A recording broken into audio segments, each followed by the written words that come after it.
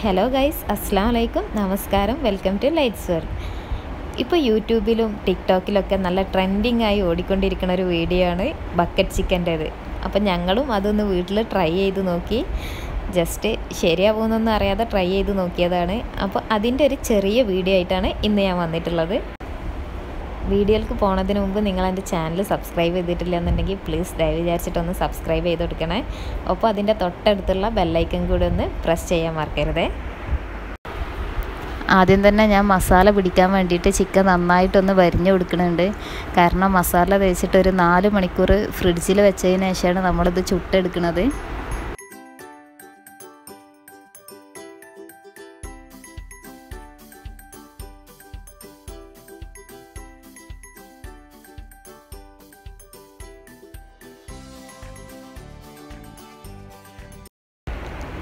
ഇനി ഇതിന്റെ മസാല തയ്യാറാക്കിയെടുക്കണം.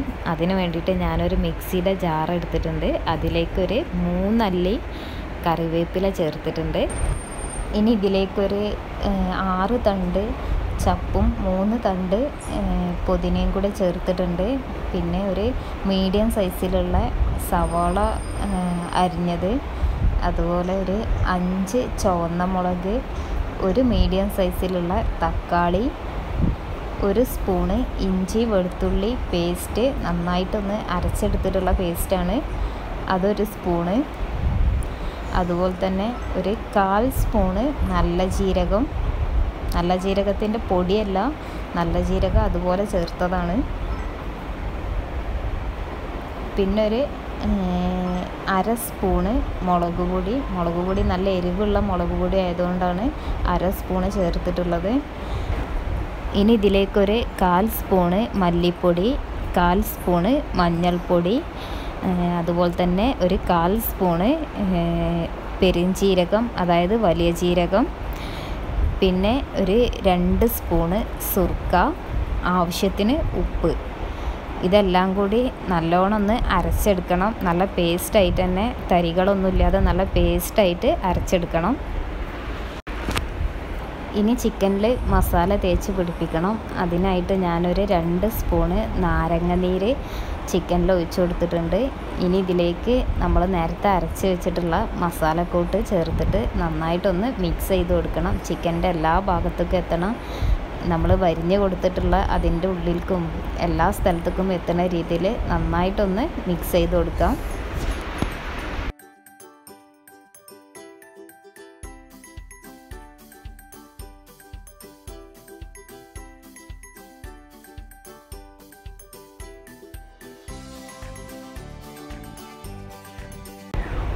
ഇപ്പോൾ ചിക്കനിലൊക്കെ നന്നായിട്ട് മസാല തേച്ച് പിടിപ്പിച്ചിട്ടുണ്ട്. ഇനി ഇതൊരു നാല് മണിക്കൂർ ഫ്രിഡ്ജിൽ വെക്കണം. അതിന് ശേഷമാണ് ചുട്ടെടുക്കുന്നത് അപ്പോൾ ഞാനിതിൽ ഫുഡ് കളറൊന്നും ചേർക്കണില്ല. നിങ്ങൾക്ക് വേണമെന്നുണ്ടെങ്കിൽ റെഡ് കളർ വേണമെന്നുണ്ടെങ്കിൽ ജസ്റ്റ് ഒരു നുള്ളു റെഡ് കളർ ചേർത്ത് കൊടുക്കുക. ഞാനിപ്പോൾ ഗ്രീൻ കളറിലുള്ള ചിക്കനാണ് തയ്യാറാക്കുന്നത് പിന്നെ അതല്ല എന്റെ മുളക് പൊടി തീരെ കളറില്ല നല്ല എരിവുള്ള മുളക് പൊടിയാണ്. അതുകൊണ്ടാണ് തീരെ റെഡ് കളറില്ലാത്തത്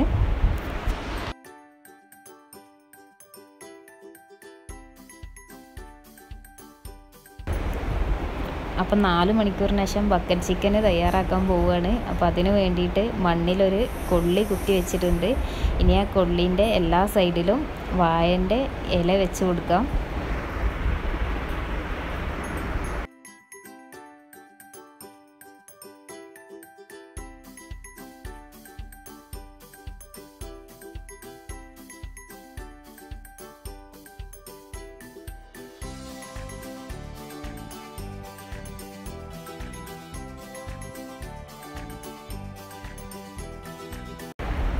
ഇപ്പോൾ വായന്റെ ഇല റെഡി ആയിട്ടുണ്ട്. ഇനി അതിന്റെ മുകളിൽ അതുപോലെ തന്നെ ഫോയിൽ പേപ്പർ വെച്ച് കൊടുക്കാം.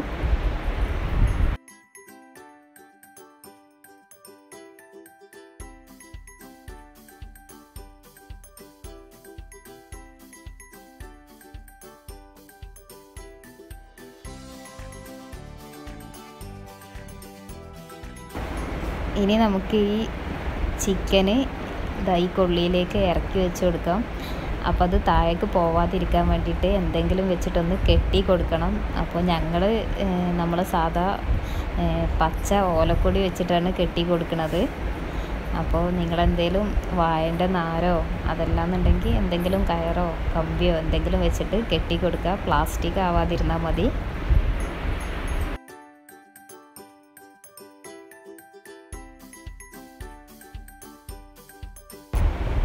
ഇനി ഇതിന്റെ മുകൾക്ക് ഒരു അലുമിനിയത്തിന്റെ ബക്കറ്റ് ഫുള്ളായിട്ട് അടയണ രൂപത്തിലൊന്ന് ഇറക്കി വെച്ച് കൊടുക്കുക എന്നിട്ട് ഈ ഫോയിൽ പേപ്പർ വെച്ചിട്ട് ഈ ബക്കറ്റിന്റെ സൈഡൊക്കെ ഫുള്ളായിട്ടൊന്ന് കവർ ചെയ്ത് കൊടുക്കുന്നുണ്ട്. കാരണം സൈഡിൽ എന്തെങ്കിലും സ്പേസ് വന്നാൽ കനൽ ഉള്ളിൽ കയറിയിട്ട് ചിക്കൻ കരിയാൻ ചാൻസ് ഉണ്ട്. അപ്പോൾ അത് നന്നായിട്ടൊന്ന് കവർ ചെയ്ത് കൊടുക്കുന്നുണ്ട്. ഇനി ഇതിന്റെ മുകൾക്ക് നമുക്ക് ഓലക്കൊടിയും വിറകൊക്കെ വെച്ചിട്ട് നന്നായിട്ട് ഫുള്ളായിട്ടൊന്ന് കവർ ചെയ്ത് കൊടുത്തിട്ട് കത്തിച്ച് കൊടുക്കാം.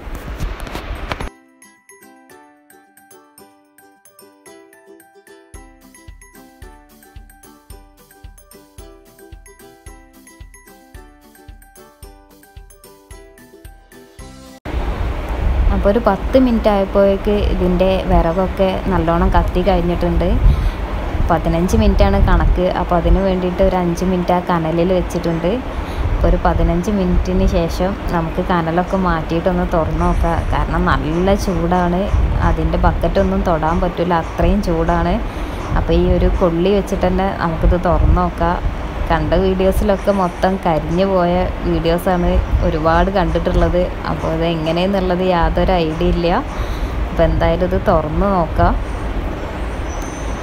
മാഷാല്ല തുറന്ന് നോക്കി. നല്ല പെർഫെക്റ്റ് ആയിട്ട് തന്നെ കിട്ടിയിട്ടുണ്ട്. കരിഞ്ഞു പോയിട്ടൊന്നുമില്ല. നല്ല അടിപൊളിയായിട്ട് തന്നെ കിട്ടിയിട്ടുണ്ട്.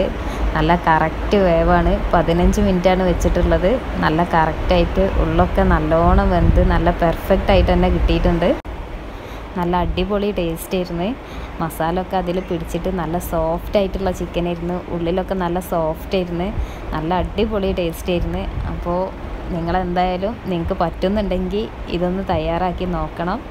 പിന്നെ നിങ്ങൾക്ക് ഈ വീഡിയോ ഇഷ്ടമായിട്ടുണ്ടെന്നുണ്ടെങ്കിൽ നിങ്ങൾ തീർച്ചയായിട്ടും ലൈക്ക് ചെയ്യണം കമന്റ് ചെയ്യണം അതുപോലെ തന്നെ സബ്സ്ക്രൈബ് ചെയ്യണം. നിങ്ങളുടെ ഫ്രണ്ട്സിനൊക്കെ ഈ വീഡിയോ ഷെയർ ചെയ്ത് കൊടുക്കണം. താങ്ക്